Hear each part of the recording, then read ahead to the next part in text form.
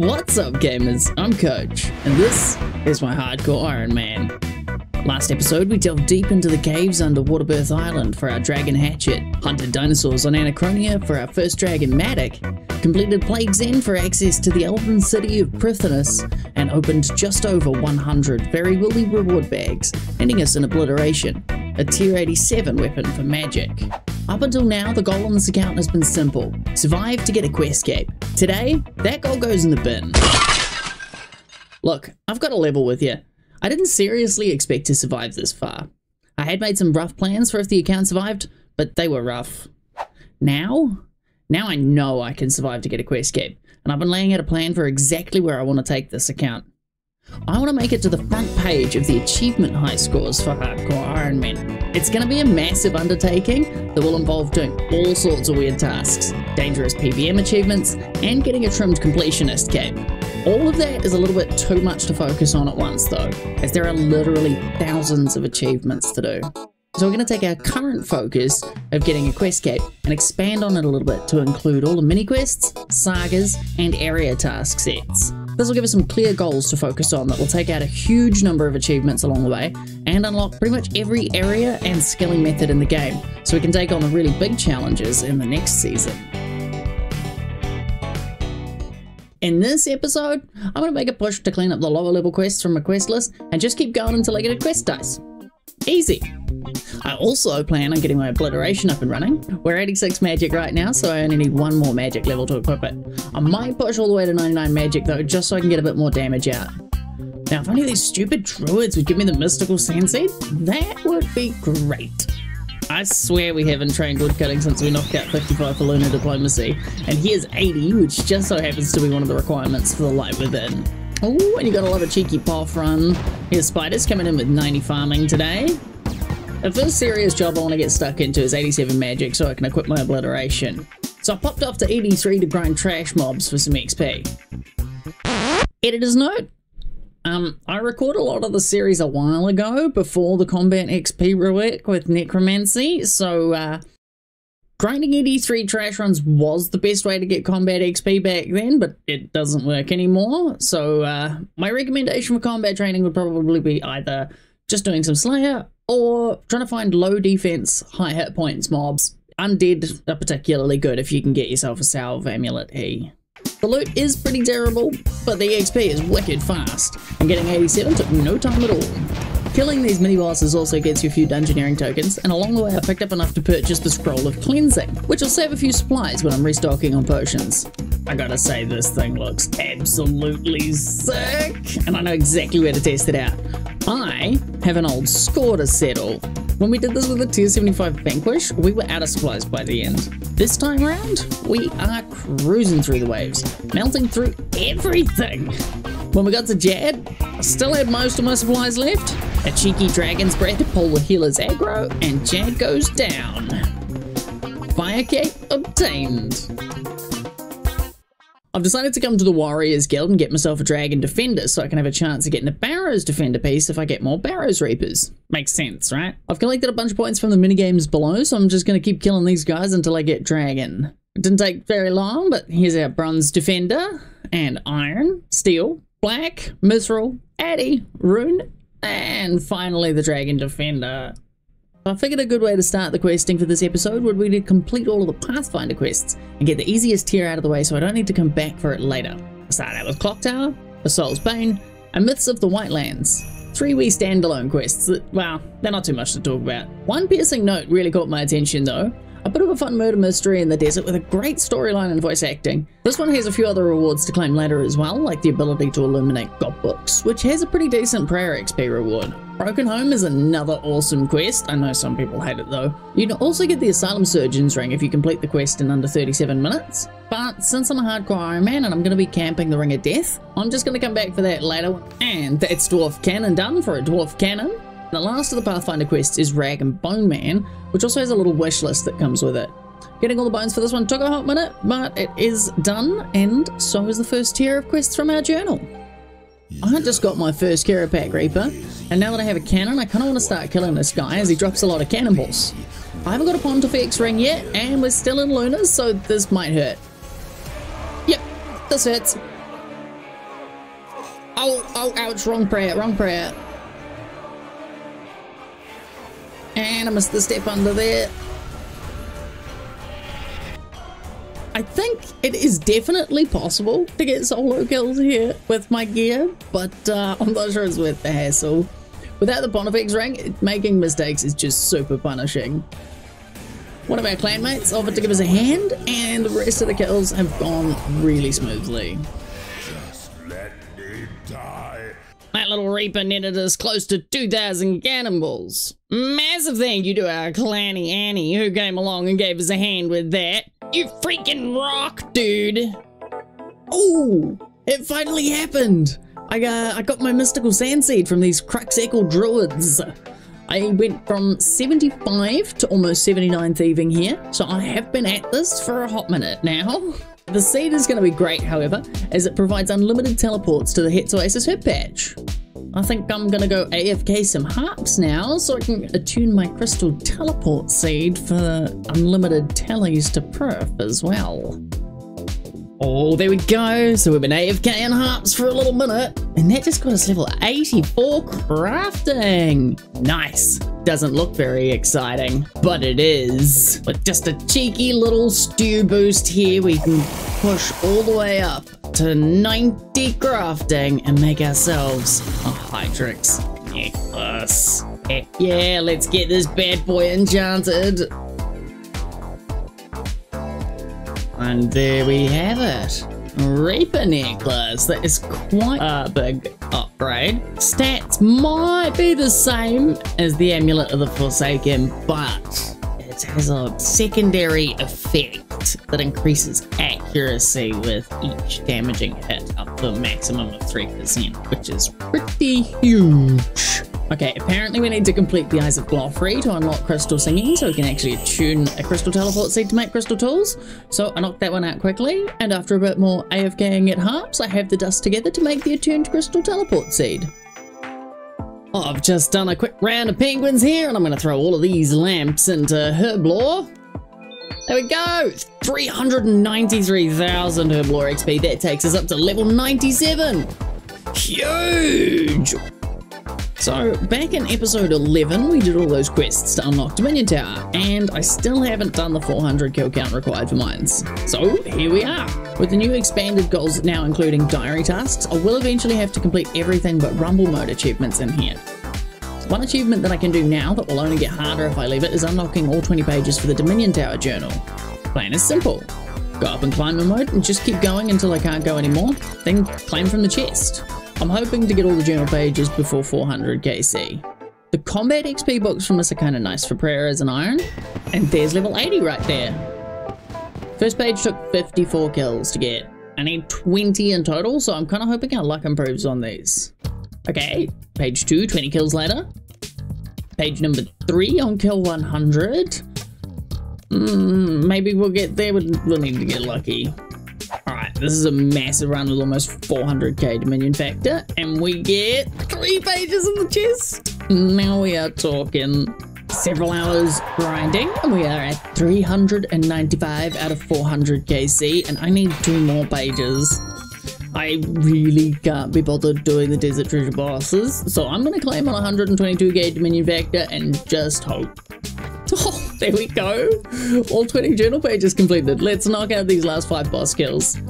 Well, it was a slog, but it is done now. 400 Dominion Tower KC, whole journal completed. Now I won't need to come back here until I've completed all the quests for the Desert Elite Diaries, which feels more like an episode 19 thing, to be honest. Oh, also, 400 KC one day, just by the way.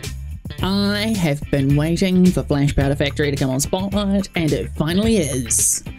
This rather tedious mini game will let me unlock the factory outfit pieces, specifically the gloves, body, and boots for the 3-piece set effect, a 10% chance to make a 4-dose potion instead of 3, and the modified botanist mask, which gives a 5% chance to double a potion when training Herblore. So a couple of hours in, and I have enough Brian points to buy the boots, so I should fail the obstacles a little less often now.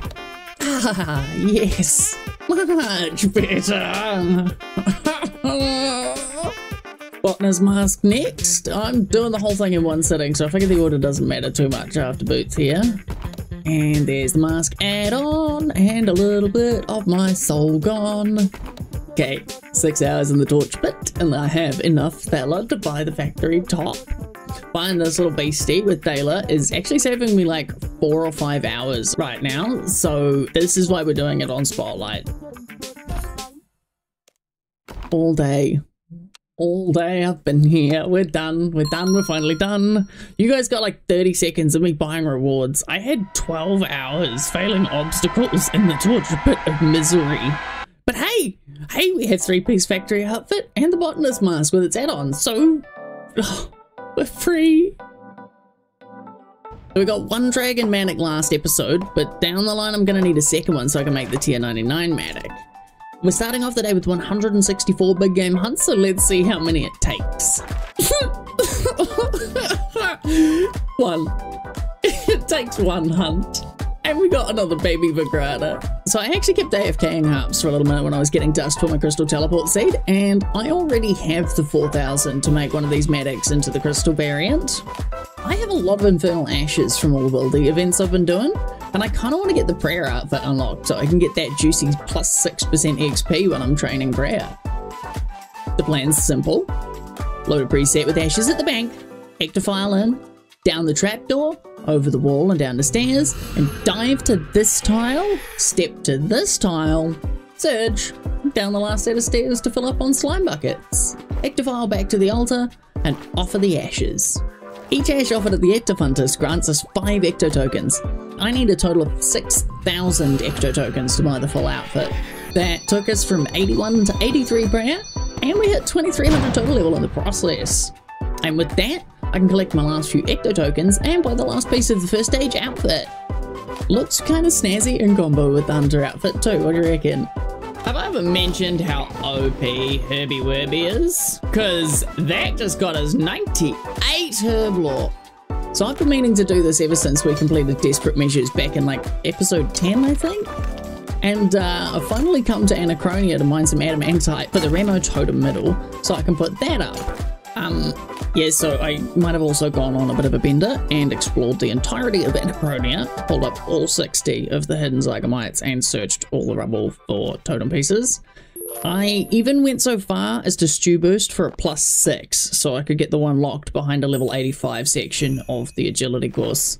This meant that I had some completed totems to put up, even if the Totem of Treasure is the only useful one I have for now. Remo Totem is complete, and now I can charge my totems with ease. Just doing some archaeology mysteries, and we're wrapping up Dagon Buy here, which gives us the pact with Dagon, which we can sign for the ability to make binding contracts. This unlocks ancient summoning for us. We just got an invite to go do some crow, and I can't say no. Can we spoon a little something something no? I think we can spoon a little something something. some Cryptbloom bottoms. We can spoon some Cryptbloom bottoms. And that is a beautiful chest. This means we have three piece Cryptbloom on the account, so uh, I should probably go fix it up and get 90 defense so I can wear it. Just a cheeky little stew boost to 90 crafting, and there is our Cryptbloom repaired. The next goal is just sending 90 defense so I can equip it, and probably 99 magic so I can increase my damage output a bit more and swap spellbooks with the bank at the cave. The plan for this is, of course, 83. And we're going to be sending this one on stream with some viewers. Hey, there's our first level of the day. 87 constitution coming in. Oh, yo, we have 120 combat as well. And level 88 defense. Two more levels and I can put the Cryptbloom on. We just got Morty. Let's go. I'm gonna put Morty on really quick.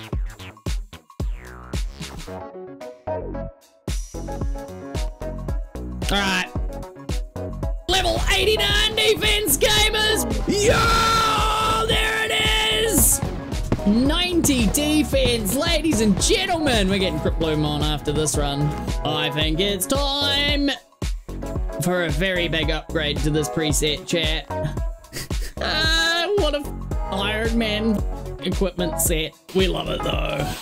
All right, now let me just uh, let me just update my combat XP because I need it. I want some magic XP now. Still got the lunar gloves though for for cuteness. 89 magic coming in. Oh, hit points level. Let's go. 88. And here's our first life into the obliteration. 63 invention. Level 90 magic coming in. Love to see it. There we go. Level 91 magic. Oh, we're huge. Oh, we're huge. Oh, we got Hanto. Nice. Free tokens. Level 89 constitution. Very nice to see.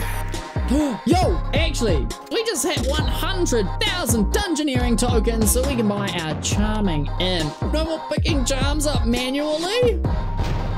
Bro, we just got to a second pet today.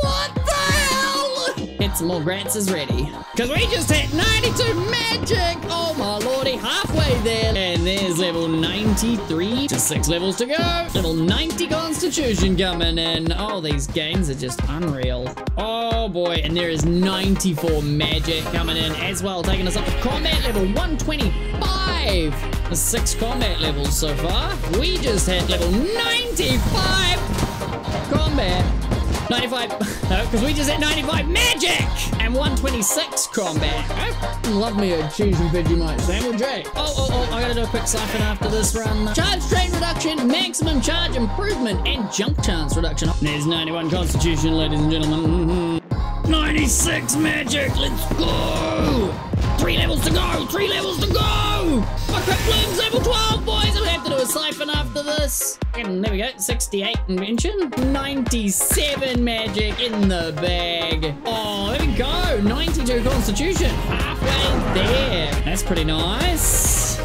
Oh, level 98 magic. Just one level to go, gamers, one level to go. Just another quick siphon. 69 invention. nice. Ladies and gentlemen, it is the last one. Level 99 magic.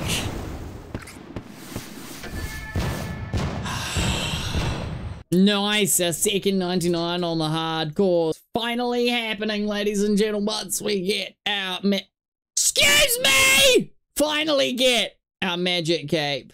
Oh, I'm so stoked. We finally did it. We got a second 99 on the account, ladies and gentlemen. I'm so happy. I'm so happy.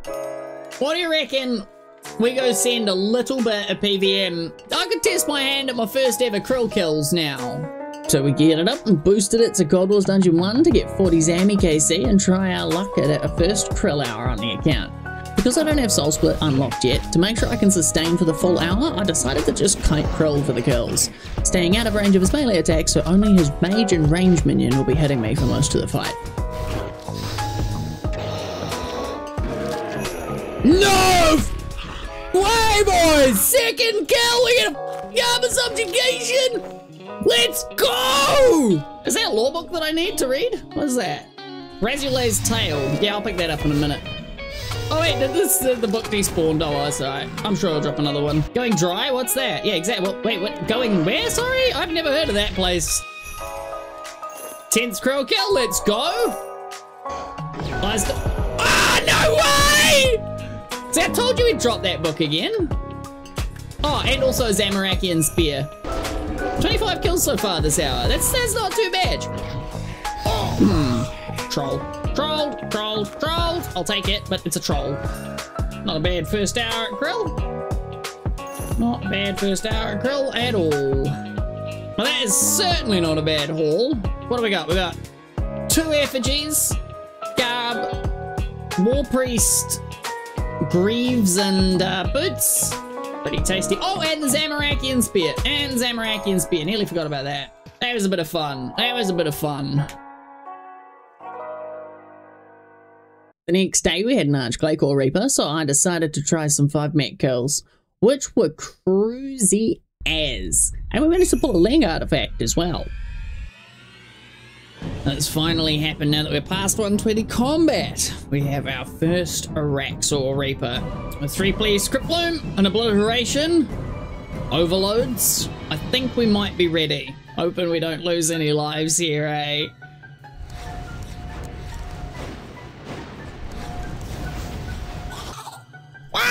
Shit! Come on, coach. Move your butt! Come on, Booty. What are you up to, bruh?